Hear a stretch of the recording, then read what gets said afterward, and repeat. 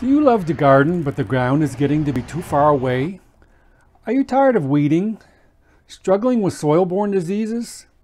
Maybe you don't have good garden soil, or maybe even no soil at all. Would you like the advantages of raised bed gardening without the cost? Maybe you just want to try something new. Try straw bale gardening. Hello, this is Stephen from ShortSeasonGarden.com and I offer tips and tricks for gardening in any climate, but especially for short seasons like here in Zone 3 in Eastern Canada. So subscribe to my channel, give my video a thumbs up and a comment, and check me out on social media at Short Season Garden on Facebook or Instagram, and you can also go to my website at www.shortseasongarden.com. If you're watching this video when it was first published, you're probably thinking, you can't plant a garden in Zone 3 in October.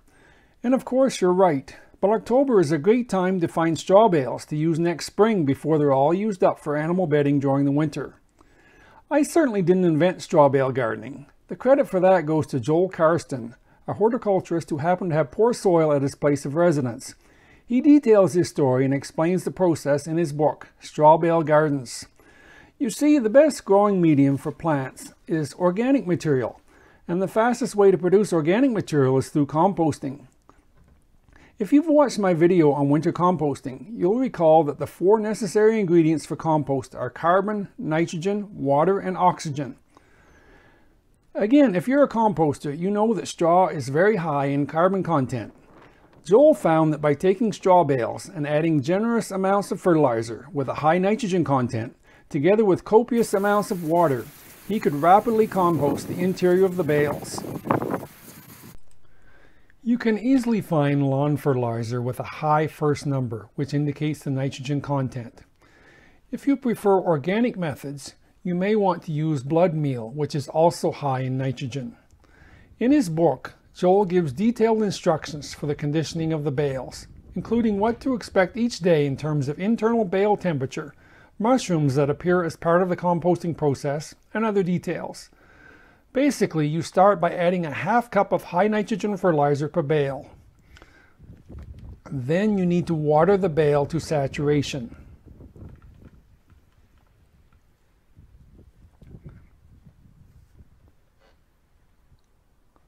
The second day, water the bale to saturation without adding fertilizer. Continue this process for 11 days, fertilizing every other day and watering every day. Since you want the bale to heat, warm water is best. On day 10, use a balanced fertilizer to supply some of the other nutrients your plants will need. On day 12, your bales should be ready to plant. Like any raised bed garden or container garden, a straw bale garden will require regular irrigation. Unless you plan to physically water each day with a watering can or hose wand, you will want to install a soaker, soaker hose or drip system before you plant. Once the bales are fully conditioned and ready for planting, each bale needs about one gallon of water daily. If you want to automate your watering, you can buy yourself an inexpensive timer.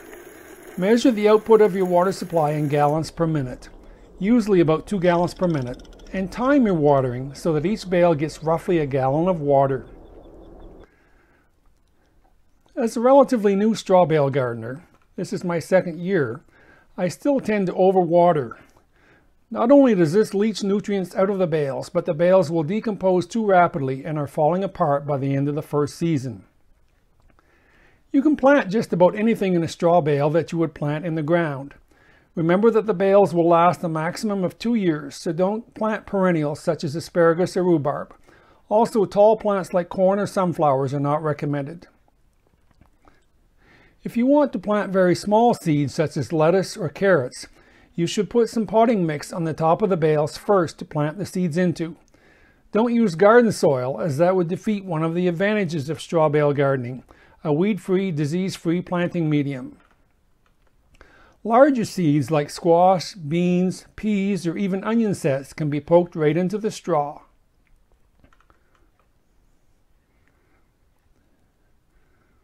Transplanting is easy. Just pull out a bit of straw and poke the plant in the hole.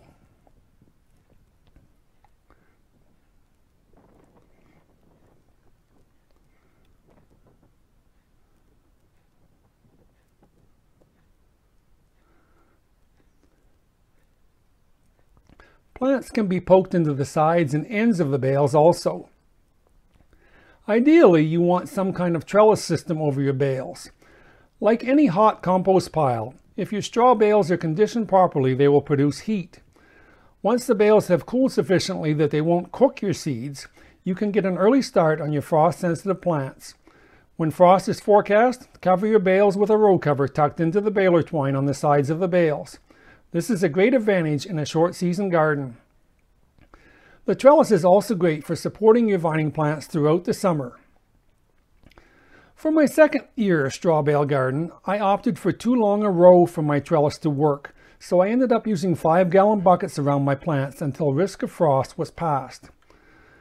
Then I drove rebar through the bales into the ground below to support my indeterminate tomato plants. The system worked, but I think I'll go back to my old trellis system for next year. By the end of the season, your straw bales will probably have a hard time holding together. To get a second season out of your bales, fasten a frame around them or compress the remaining straw into totes to make a great, support, a great spot for planting root crops such as potatoes, carrots, or beets. At the end of the second season, your straw bales will probably be totally decomposed and will make great compost or even, even potting soil for your third year. If you enjoyed this video, don't forget to give it a thumbs up and a comment. Subscribe to my channel, and we'll see you in the next video.